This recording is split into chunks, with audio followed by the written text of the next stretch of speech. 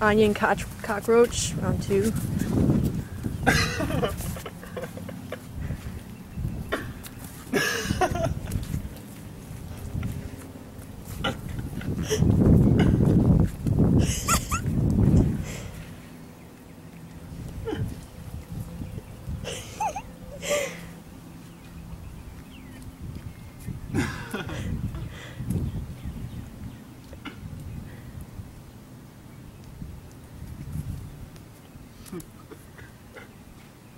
No, Mr. Cockroach, you could have gotten away.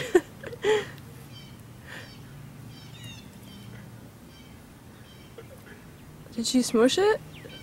I don't know. I think she might have smushed it.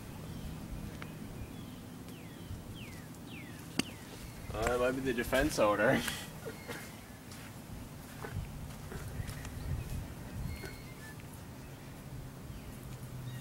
I wonder if she's gonna try and eat it.